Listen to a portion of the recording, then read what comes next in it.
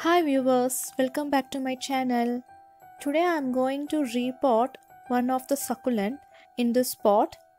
It's a bonsai planter. This is made by my mom. She used cement to make this planter. She have painted with white color and she have decorated with blue line. So in this pot I am going to plant this Crassula ovata Gollum. It has big trunk and big branch. I have a plan for this plant to make it as bonsai tree. So I have chose this planter for this plant to make it as bonsai. I'm going to fill this pot with medium it's a cactus and succulent mix. The only thing for bonsai is we should not let water to log inside the pot. The water needs to drain fastly. That's the main thing which we need to consider.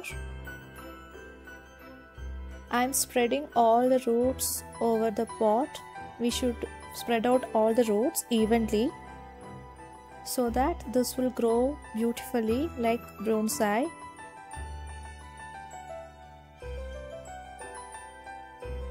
And then I'm filling with mix.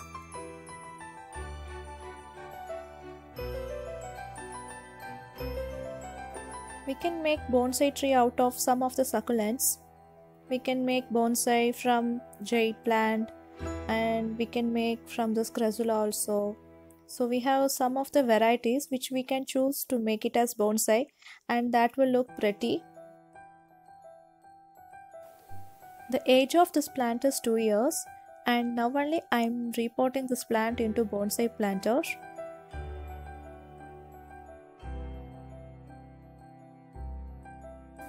This is my first try for bonsai tree.